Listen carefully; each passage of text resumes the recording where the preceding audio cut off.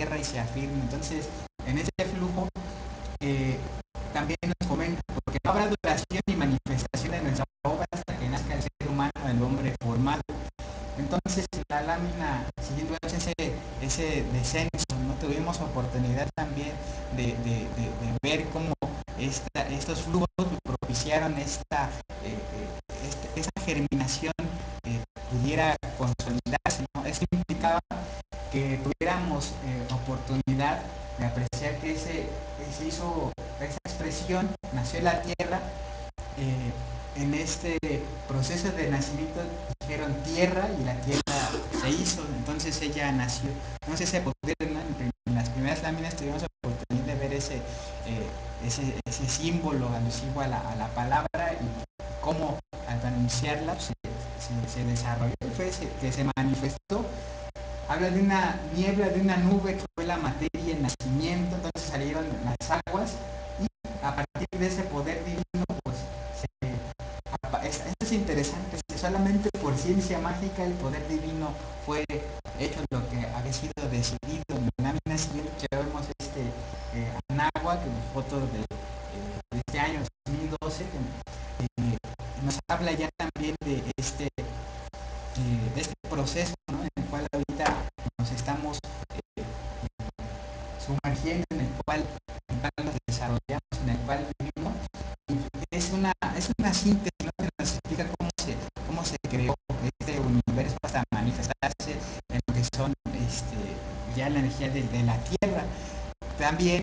Esa conexión eh, los cinco soles eh, también tenemos de cajón prácticamente que esto es un mito mexica, que, nada más ellos fueron los que eh, lo interpretaron y que lo vivieron, pero no, este también tiene una raíz anterior y los mayas también nos muestran a partir de, de en esta instancia cómo se corresponde, lamentablemente la escritura olmeca pues no se ha descifrado probablemente por ahí existirá algún, alguna estela o, aparecerá algo que también pueda llegar a, corroborar esa eh, definición de este mito de los cinco soles. Entonces, eh, el Popol aquí, en esta eh, descripción, nos dice que primero nacieron, una vez que ya de, este aspecto de, creación, de manifestación de la materia, se creó la Tierra, comenzó este proceso de desarrollo y de creación de los montes, las llanuras, de este contexto de Taltipa, eh, este sobre la tierra. Y a partir de aquí, estos espíritus del cielo eh, meditaron sobre la conclusión y la composición. Se hace alusión en los textos que también vimos anteriormente, este proceso de reflexión, de meditación, de, concentrar la, este, la energía, de propiciar este intento porque la manifestación tuviera, eh, eh, tuviera sus ciclos y tuviera también la oportunidad de, germinar, de crecer y de desarrollarse a partir de esa semilla para alcanzar los frutos. Entonces ellos se dijeron, solo habrá silencio e inmovilidad. Bueno, es que haya los guardianes. Entonces, desde ese instante, al tener este, este contexto, eh, la, importancia que se le da a que todo este, este o este entorno en el cual eh, eh, ya sobre la tierra,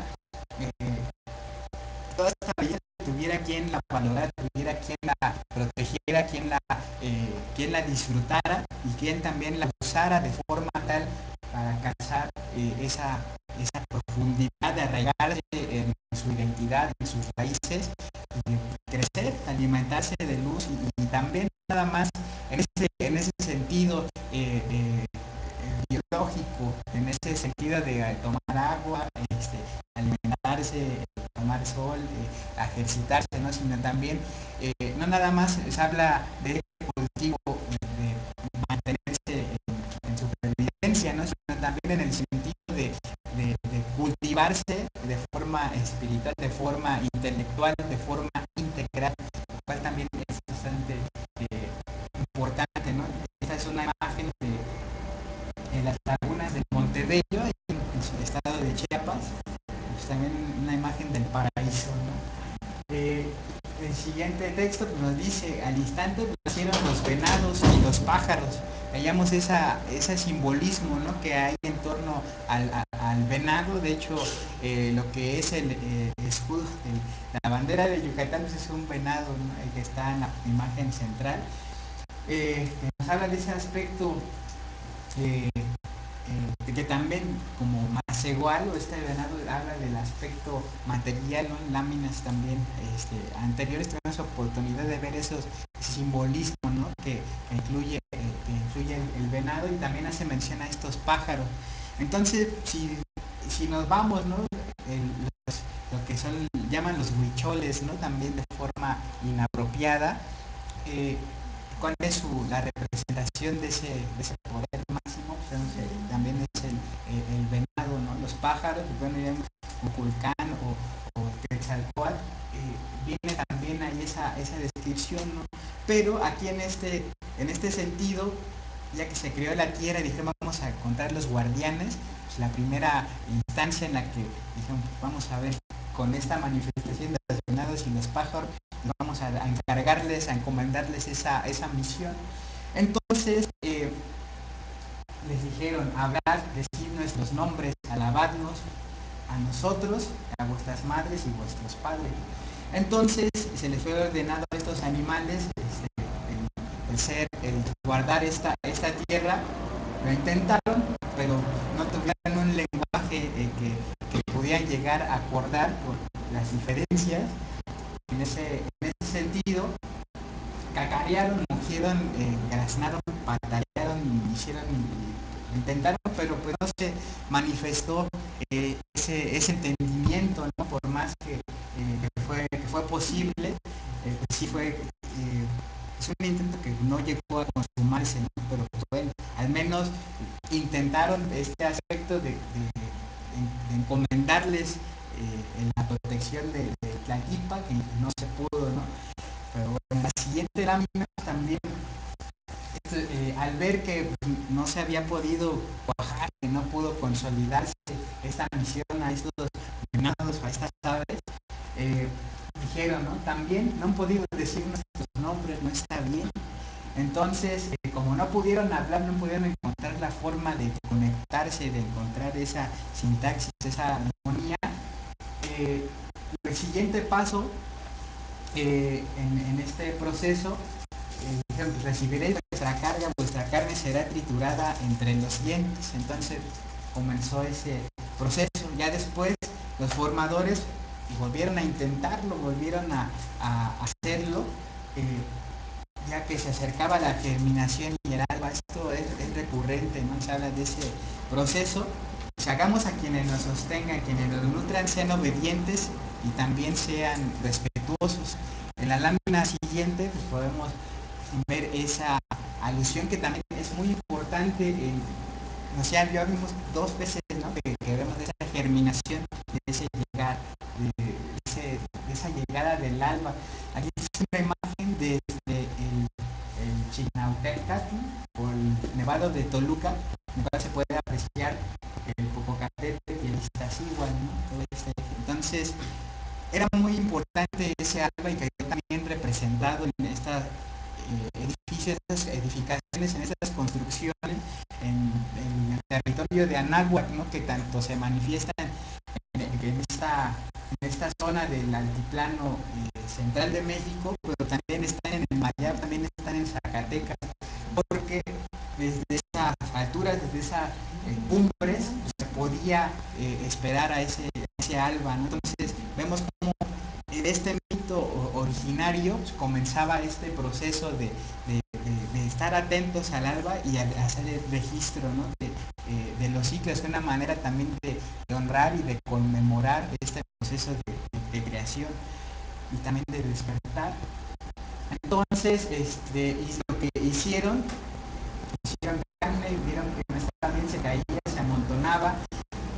Este, intento vieron que, esta tierra también no se movía, eran los hombres de, tierra, hablaron pero sin coherencia, ya habían articulado hasta cierto punto estas, eh, estas herramientas que permitían el intercambio de información, pero se licuaron, no pudieron sostenerse sobre sus pies en la lámina siguiente, pueden ver ese, ese reflejo, como los animales no pudieron, eh, los venados ni los pájaros, pues hagamos los hombres de tierra y ellos hicieron también el intento, ¿no? No eran también muy diestros ni nada, pero pues, terminaron derrumbándose al no articular ese, ese sistema de, de integración.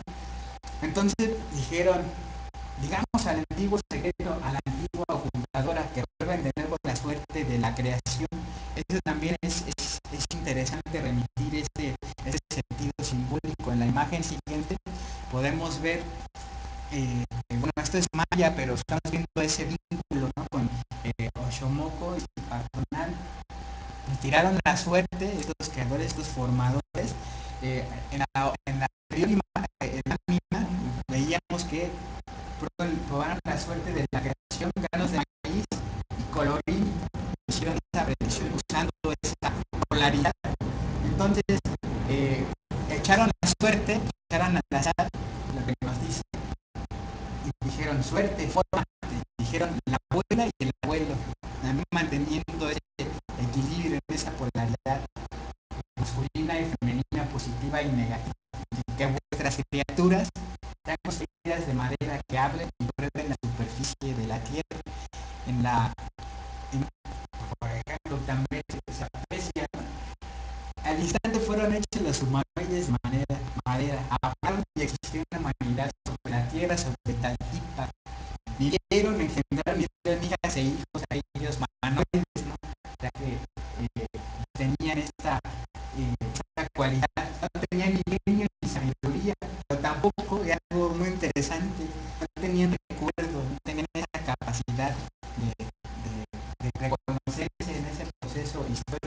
Entonces iban sin sentido, sin objetos, sin rumbo, no se acordaban de esos espíritus que les habían dado la vida. Y como fuera un ensayo, o esa tentativa, lo que sucedió en la siguiente imagen, al estar ellos de una forma eh, pues como tal, no, no había, eran de madera, pero no tenían raíces, no reconocían su origen, no, no, no podían mirar más allá, no honraban, eran siguiente, pues apreciamos cuál fue el destino, ¿no? Los, perros de estos hombres de madera les dijeron, pues como no pensáis en vosotros mismos, no dabais huesos para comer, seréis como huesos para nuestras bocas, entonces se comieron. Ese, eh, si no tenían conciencia ni, ni, valor para, honrar a, su, a, esos creadores, esos formadores, si no alimentaban ni sus perros, pues ese fue el destino para quien tenga mascota, pues alimentarla. Este es un sentido simbólico, pero en la imagen que sigue, eh, también, pues no nada más los perros este, se levantaron, dijeron, pues no me cuidas, no me atiende, pues también se le sumaron las ollas y las vajillas. Ellas dijeron, nos ocasionasteis daño y dolor poniéndonos al fuego sin que nosotros os hubiéramos hecho mal. Ahora sufriréis vuestro turno. Entonces, pues, también se sumaron a los perros pobres hombres de madera, ¿no? Cual Pinocho fue afortunado, ¿no? Con, su historia. Entonces, es interesante, dice, empujándose estos humanoides corrieron llenos de desesperación, quisieran subir a, sus casas, pero no se pudo. Entonces, ¿qué pasó? ¿Qué fue el, proceso siguiente?